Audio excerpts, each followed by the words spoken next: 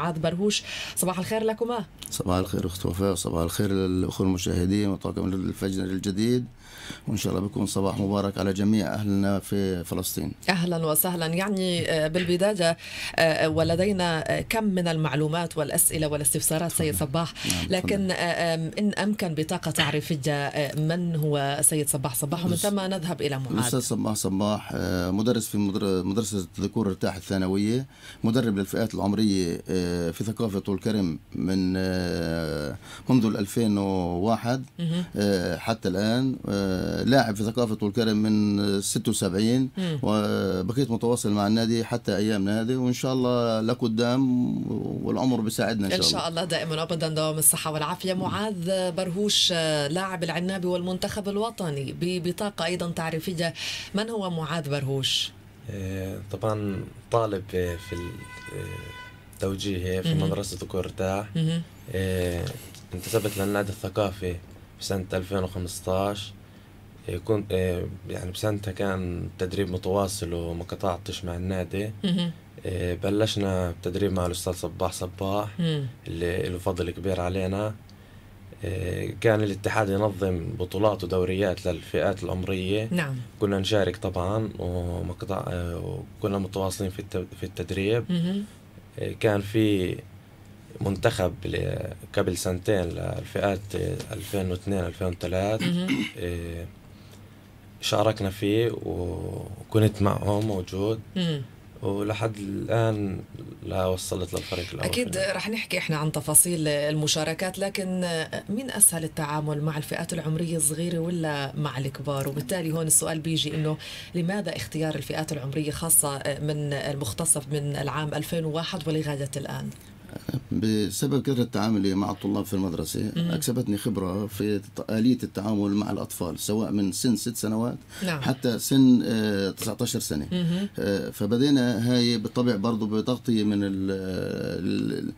خلينا نقول مثلنا في الرياضة الفلسطينية وفي نادي ثقافة والكرم الأستاذ محمد صباح ابن عمي. هي اللي كان هو أولا في بدايتها هو المسؤول عن الأكاديمية أو المدرسة الرياضية في ثقافة والكرم نعم. واللي لحد اليوم نتعلم منه. آه، فاستفدنا من خبراته خبراته بوجوده معنا آه، أوجدنا المدرسة الكروية ومن ثم مؤسسة خطوات ومدرسة كروية ثانية تابعة لمؤسسة خطوات ثقافة والكرم آه، وهذول كلياته يعني آه، ساعدنا في عمل دورات تدريبية مكثفة للأطفال واختيار اللاعبين المميزين. وهي مؤسسة خطوات أو النادي الثقافي بيخدم المحافظة ككل نعم. لأنه عندنا لاعبين من جميع المحافظة. يعني من بتلاقي عندنا من نزلة عيسى بتلاقي عندنا من كفر صور من كفر جمال من آه، جيوس من آه، مخيم طول كرم نعم. من كل هذا. عندنا الفئات العمرية هاي. فهاي أكسبتنا التعامل كثير مع المجتمعات ومع نفسيات الأطفال هاي.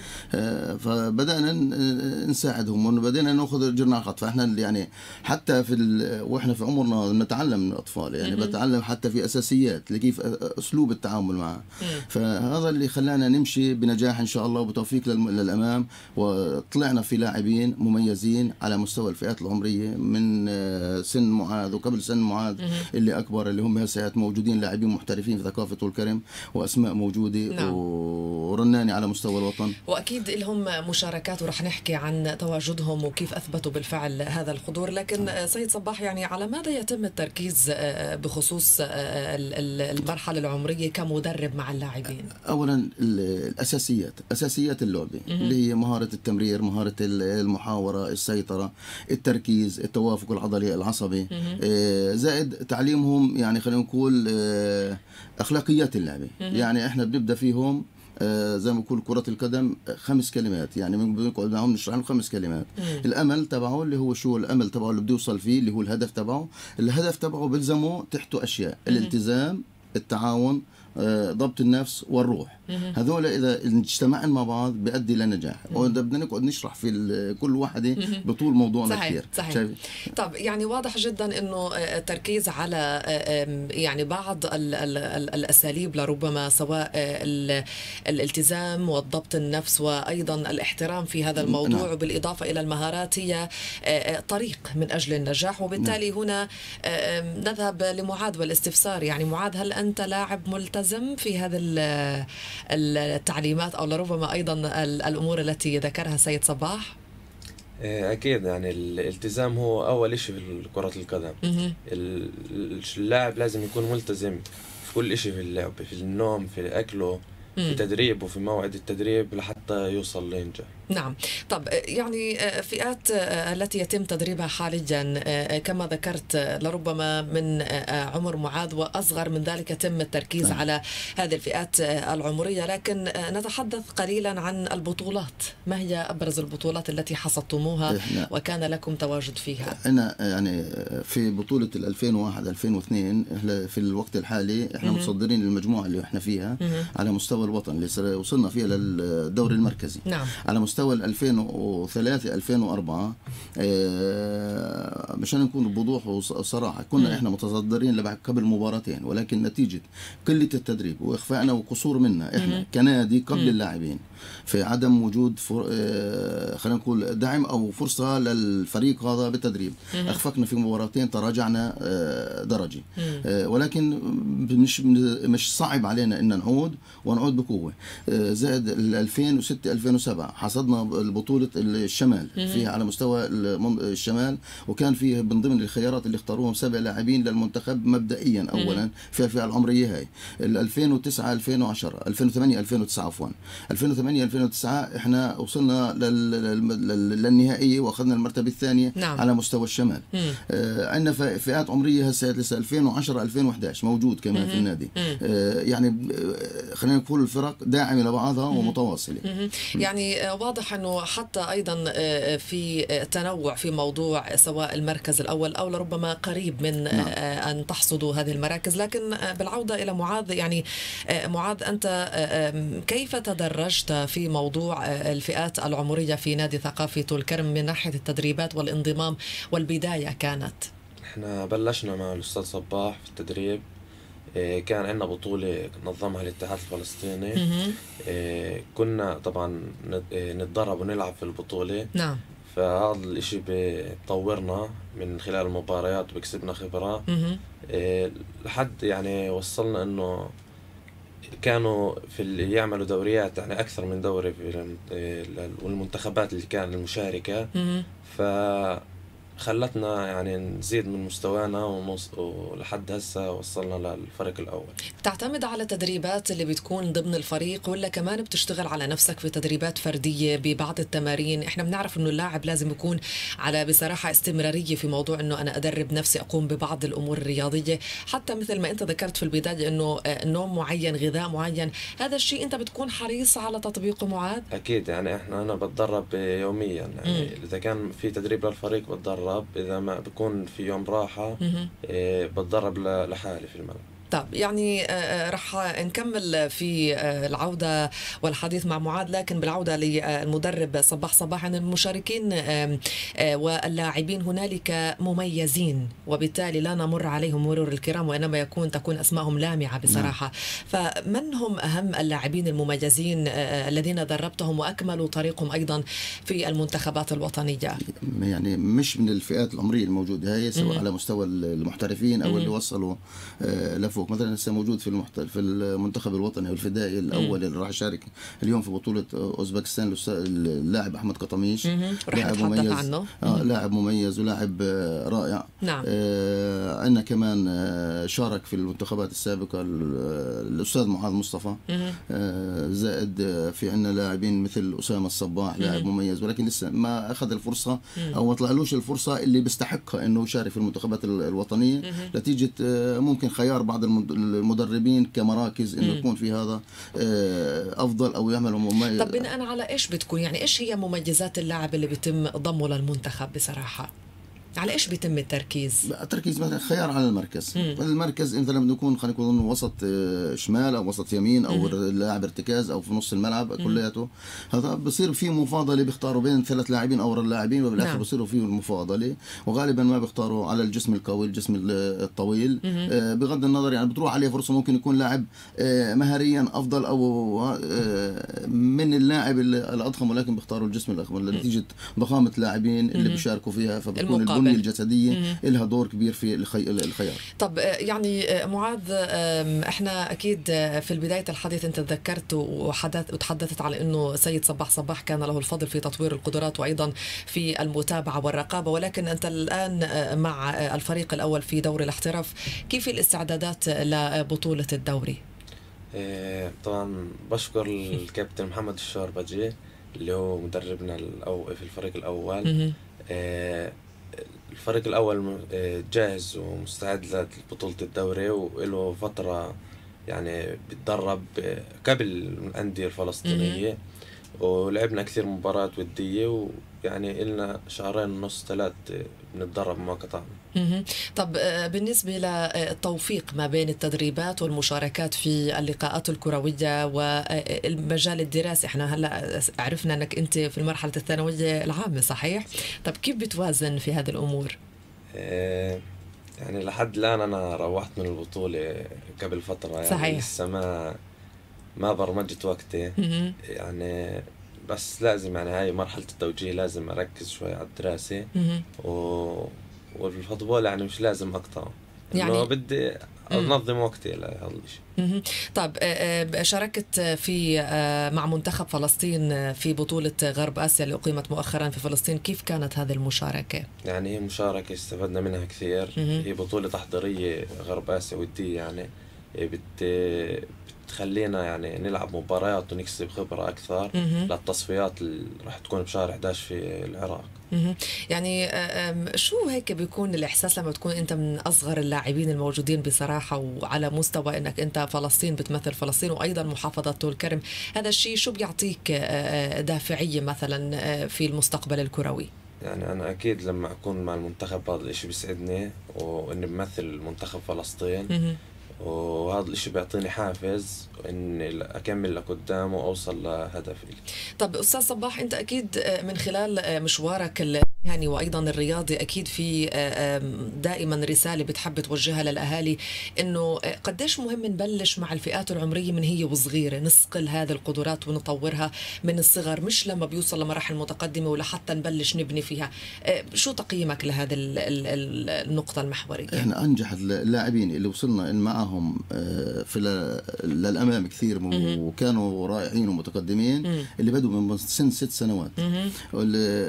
هم خلينا نقول الأفضل فئه هسه يعني من ناحية أداء وفكر كروي موجودين إحنا عندنا فئات ال 2004 2005 اللي فيها بسام شديد ومحمد صباح ومحمد صباح وهذول الفئات العمرية. هذول عندهم فكر صلاح الجلاد آه عندهم فكر كروي رائع لأنهم أصغر فئه بدوا معاذ بدأ في أكبر منهم في سنا شوي. في معاذ بقى جاي على النادي على سبب يلعب حارس مرمى. ولكن بتوجيهات منا إحنا حولناه حسب ما بنشوف الرؤية تبعته. وكان مميز. وكان قبله في لاعبين مثل علاء بدران. كان مثلا بده يلعب في مركز حولناه لمركز أصبح لاعب في مركز وبيلعب في مركز شباب طول كرم الان وإحنا مدرستنا الكرويه في نادي الثقافه طول كرم الحمد لله يعني مغطي خلينا نقول أندية المحافظة هسه في في المركز في في فرعون في في شويكي في, في يعني كلياتهم من المدرسة الكروية الموجودة. عدا الأكاديمية اللي إحنا عملناها من ثلاث سنوات. بنشتغل وبننتج وبنركز على إنه اللي بده من ست سنوات. وبنعطيهم محاضرات في آلية التعامل من ناحية نوم السهر كيف التعامل التخلص من البروفونات التغذية. وما تغذية كلياته هذا مشان نوصل فيهم. ذكرت نقطة مهمة وأعتقد يجب التركيز عليها خاصة للشغوفين في عالم كرة القدم. الأطفال بيجوا أو اللاعبين بشكل عام سواء مراحل عمرية صغيرة أو متقدمة بيكون حاطط في باله أنا بدي أكون مثل اللاعب الفلاني مثلا في الدفاع أو في الهجوم أو وسط أو حتى حارس نعم. مرمى. كلمة كتير هامة إنه إحنا بنوجههم. يعني هل بالفعل مدرب يكون عنده رؤية؟ أنا بشوفك في هذا المجال أنجح من هذا أكيد. المجال. قديش بيكون في استجابة من اللاعبين؟ الطفل بداية أولا في إحنا يعني نتيجة الخبرة اللي وصلنا فيها. يعني الطفل اللي بيجي بست سنوات كل طفل عنده حب التملك. صحيح. يعني الكرة بده يمسكها بده يلعب فيها بده يرمح فيها بده يلعب فيها لحاله. إلا إنه إحنا بنعودهم وصرنا نعودهم قضية التعاون زي ما كنا في الخمس كلمات التعاون. واللعبة جماعية بدنا نعلمهم كيف يمرروا يتعاونوا مع بعض الجري فتح الملعب كلياته. هسه بيجي الواحد فيهم بده يجيب الهدف. كل واحد اللي بيجيب بيعتبر حاله الأفضل اللي بيجيب الهدف. الآن بنصير نوجههم بنتركه أول مرة ثانية مرة ثالث مرة بنقول له تعال شوف العب حول هذا. بصير يوجد نفسه. نعم. هسه بصير يوجد نفسه هو بصير يتعاون معنا وبصير سهل علينا الأمور. آه، بنصير نودي الواحد على المركز تبعه. نعم. الآن إذا بعد إذا نما على هذا الشيء وصل لمرحلة عمريه معينة واجى مدرب آخر. بده يوظفه في مكان آخر راح يخفق راح يتراجع مستواه. فلازم يجي هذا مثلا فينا لاعبين المنتخب الوطني بيكون لاعب مهاجم بيكون اخذ وحطه ظهير ولا وصل إلى وبتحسه ما بيبدعش في بيبقى هذا. خلص بده. يتراجع بده يصير بده يخربط زي ما بيقولوا الكمبيوتر اللي عنده اللي يتبرمج. هي ال- ال- الرياضة وقديش الممارسة زي عملية الدراسة. في. قديش بيفتح كتاب وقديش بيدرس ال- ال- الطالب قديش بنتج وهذا اللاعب اللي زي معاذ آه بتدرب مع ال- الفريق الأول آه، بفك- وقت فراغه إذا كان مدرب آه، في تدريب للفئات العمرية معانا بيرجع بيتدرب معانا. بيقعدش إذا في الجيم بيروح بيتدرب وهذا لازم اللاعب اللي هيك عنده حس مسؤولية. عنده حس إنه بده يطور نفسه بزيادة. آه، بيكون زائد إنه معاذ مساعد مدرب معي في مؤسسة خطوات. آه، حتى بيشارك في العمليات التدريبية. فاهم شو اللي بيعمله أصبح يعني في مجال سهل إنه يتطور. وفي عندنا الكثير من هيك اللاعبين اللي زي. معاذ من الفئة العمرية اللي هو فيها. يعني. واضح في يعني آه، آه، تفضل أستاذ. آه يعني في الفئة العمرية اللي عند اللي معاه في أو كمان خمسة أو ستة أنا بتصوري أو بتقديري لازم يكونوا في المنتخب الوطني. ولكن كلنا شو؟ إنه في مفاضلة بالناحية البدنية أو الجسمية. آه في عندنا حمزة المغربي كان مستدعى للمنتخب ولكن نتيجة آه اللي كان عنده ال- الاستكمال في التوجيه التراجع ما راحش. هسه نتمنى أنه يستدعوه في المرحلة القادمة لكن في. قدرات وفي طاقات يعني بصراحة موجود. تصل إلى ما أبعد من ذلك نعم، نعم. وواضح جدا من خلال آه، ال- ال- المهام اللي ذكرتها متوليها ب- بالمساندة والمساعدة لحضرتك في التدريبات. آه، لذلك معاذ يقال عنك أنت بالتحديد أنك لاعب منضبط وملتزم. فصحة هذا القول يعني أنت بتأكد على ضرورة الانضباط والالتزام ونصائح للزملاء سواء الفئات العمرية الصغيرة أو حتى لمن هم من أبناء جيلك. يعني أكيد الانضباط والالتزام زي ما حكيت لك هو أول شيء في كرة القدم. اللاعب المنضبط هو اللاعب بينجح صحيح. لأنه بدك يعني تنضبط في الملعب تتحمل حكي الناس حكي الفرق الخصم ضدك الجمهور عشان تنجح. أي لاعب يعني بده يطلع عن الانضباط أكيد يعني راح يخفق. طب على شو بتركز أنت في تدريب مثلا ممكن الفئات الصغيرة؟ هلأ الأطفال اللي بيكونوا متشجعين خاصة إنه ذكر أستاذ صباح إنه في الأكاديمية وهذه إنجاز بالنسبة لمحافظة طول كرم بصراحة بوجودها. فبالتالي قديش بتحب إنك أنت تمرر رسائل إنه الكرة هي رسالة مش بس مجرد إنه إحنا بدنا نلعب فوتبول أو كرة قدم وخلاص. لا بتكون في رسالة معينة لحتى توصلوا زي ما وصل معاذ بالمسميات وبالمشاركات الكروية. لازم تعمل هيك وهيك وهيك انت على إيش بتركز لهم تعطيهم نصائح يعني أنا بساعد الأستاذ صباح في تدريب فئة 2006 2007 مهم. يعني هم بأعمارهم يعني بيفهموا الواعيين طبعاً. يعني بيقدروا يفهموا الحكي مم. فاول إشي لازم هم بهذا العمر ينضبطوا يعني يكون عندهم التزام في مواعيد التدريب في التدريب مم. ينفذوا اللي بيطلبوا منهم الأستاذ في التدريب ويعني يعني إنه دائما ابدا الالتزام نرجع بنقول نعم. الالتزام والانضباط. طيب آه، محليا أو عالميا آه، من هو لاعب معاذ المفضل في مركز الدفاع؟ مين قدوتك أو مين مثلك الأعلى سواء محليا أو عالميا؟ عالميا سيرجيو راموس. سيرجيو راموس. يعني في شوية دفاشة بس منيح سيرجيو راموس كويس. إجمالا إحنا رح نروح لاستقبال اتصال هاتفي وبالتالي سأمرر آه، آه، السماعة للسيد صباح صباح وبنقول في هذه اللحظات آه، ألو صباح الخير. ألو صباح الخير يا أخت وفاء. أهلا صباح الخيرات يا هلا. الله يصبحكم بالخير. صباح الخيرات. بقول لصباح صباح الله يعطيك العافية وإنت قدمت للنادي وما زال بقدم وبخرج اللعيبة. بس بصير عندنا لعيبة يا أخت وفاء لما- بصير بسن ال 18 سنة خلص بلتي بالدراسة وبروح. مهم، يا بلزم مع النادي يا بروح بكمل جامعه أمم، هاي مشكلة النادي بخرج لعيبة ومنورد لعيبة. من فضل الله. يعطيكم العافية وشكرا لكم. يسعد صباحك سيد وليد أبو صفاقه صباح الخيرات وصباح المشاركات. يعني آه، ممكن هذه ملاحظة سيد صباح على موضوع إنه إحنا عندنا قدرات وفي آه، آه، طاقات شبابية بصراحة رائعة جدا. وبالعكس هي اليوم موجودة في مسميات تذكر على مستوى فلسطين والوطن. نعم. لكن بيقول إنه في بعض الانشغالات اللي شوي بتبعد اللاعبين وممكن أصلا خلاص يبطلوا موجودين في هذا المجال الرياضي. كيف أنتم بتحاولوا تتفادوا الوقوع في مثل هذه الإشكالية؟ آه، أول شيء من الفترة السابقة كان هذا يصير الحكي ولكن في الفترة الحالية بعد وجود الاحتراف أصبح اللاعبين اللي بينهم توجيهي غالبيا غالبيتهم موجودين لحد الآن في النادي. وبتفقوا النادي معهم بالاحتراف بدفع أقساطهم الجامعية وبيستمروا موجودين. ولكن هذا في السابق كان في صح اللي بيقول الأخ وليد. آه نتيجة آه الأهالي بدهم آه، دعم مادي مشان يكملوا أولادهم دراستهم أو اللي كانوا يخرجوا للجامعات الخارجية. نعم. ولكن أصبح الآن اللي بده يدرس في الجامعات الداخلية أو في جامعات فلسطين آه أو جامعة طول كرم بيستمروا في النادي ولحد الآن مستمرون وهم في دراستهم. يعني ممكن أحيانا سيد صباح نربط الموضوع بعرفش إذا هذا الربط صحيح أم لا لكن أحيانا بسبب بعض الضائقة المالية يعني لربما في أن نتبنى هذا اللاعب ونكمل معه المشوار سواء في الموضوع الدراسي وحتى إلى ما بعد ذلك كي يبقى انتماءه لهذا النادي أو لهذا الفريق. هو اللي شوي بشكل خلل ما؟ نعم هو هو مش الخلل ما غالبية الخلل أصبح الموضوع المادي. نعم. نتيجة آه، قلة الدعم الاتحاد بطل يقدر يدفع أو ما ما فيش دعم مادي نعم. ولا من أهل البلد حتى كان في دعم مادي ولا أصبح معدوم. آه، رغم كل المحاولات إلا إنه بيبيعوا النادي أو الهيئة الاداريه في نادي الثقافة والكرم أو المسؤولين عن آه، الحصول على دعم مادي. نعم. فهذا أصبح آه، عبء كبير على المدربين أو على الطاقم التدريبي أو على اللاعبين اللي موجودين. وصار في يعني في بعض الأوقات يصير في تراجع. نتيجة هذول بحاجة وهذول بحاجة إلى دعم.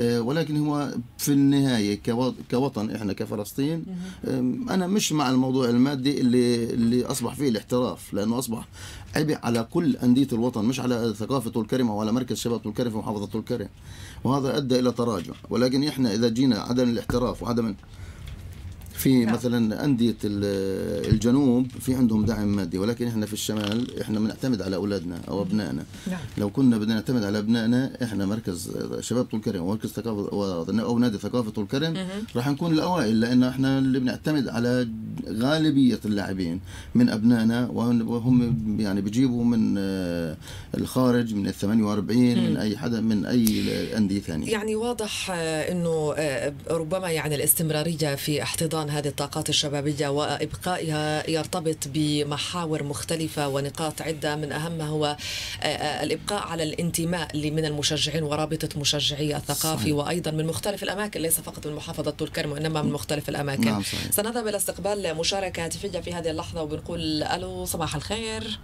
صباح الخير أخت وفاء صباح, صباح الخير, الخير. صباح الخير لطاقم الفجر الجديد ولتلفزيون الفجر الجديد اللي هو دائما الراعي الدائم المساند للعناب في كل المحافل. أهلا وسهلا صباح الخيرات. صباح الخير لأستاذنا صباح صباح، الاستاذ صباح يعني اسم غني عن التعريف. الله يسلمك واضح في عالم التدريب وخرج كثير من اللاعبين اللي هم مميزين ونتمنى له دائما الصحة والعافية دوام التوفيق يا رب.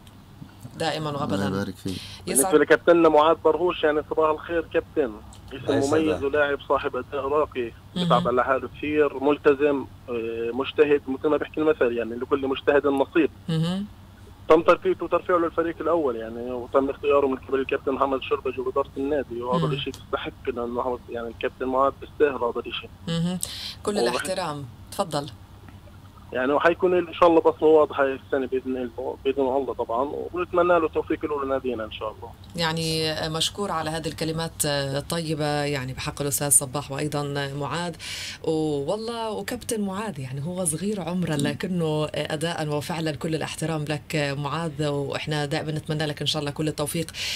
بالعودة مرة أخرى إلى السيد المدرب كابتن صباح صباح. يعني اليوم قطعت شوط منيح ومثل مثل ما بنقول مشوار طويل وفي صعوبات وفي عراقيل لكن الحمد لله ذللت من خلال المتابعة الدائمة والحثيثة من قبلكم على مواصلة المشوار. اليوم رسالتك لأهالي محافظة طول كرم ولكل رابطة مشجعي العنابي وأيضا في ربما داخل المحافظة وخارجها. إيش بتحب توجه لهم رسالة؟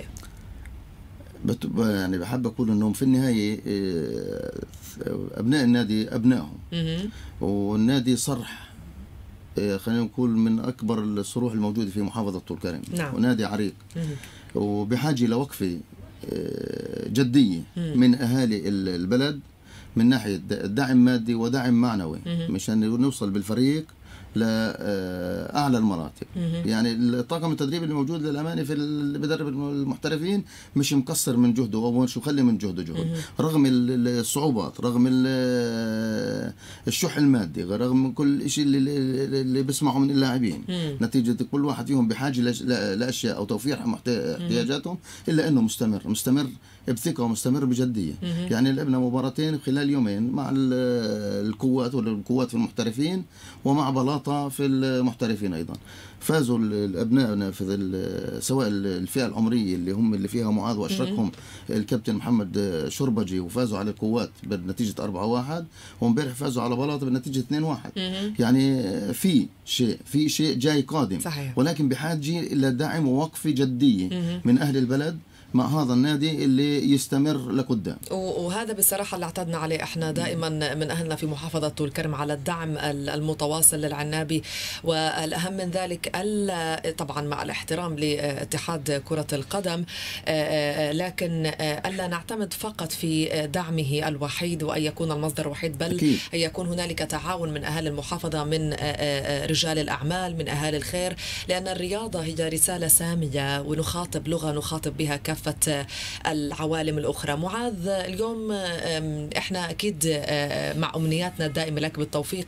لكن بتفكر تكمل في المشوار الرياضي حتى ما بعد مرحلة الثانوية العامة؟ لأنه ذكر متصلنا مواطننا العزيز إنه بعض اللاعبين لما بيروحوا على الجامعة خلاص بينشغلوا عن كرة القدم. أنت إيش طموحك ورؤيتك المستقبلية؟ أنا يعني أكيد عندي كرة القدم شيء مهم في حياتي لازم أكمل فيه لأنه له مستقبل. وهو يعني الرياضة صارت عندنا مش بس لعب يعني هي زي وظيفة وشغل.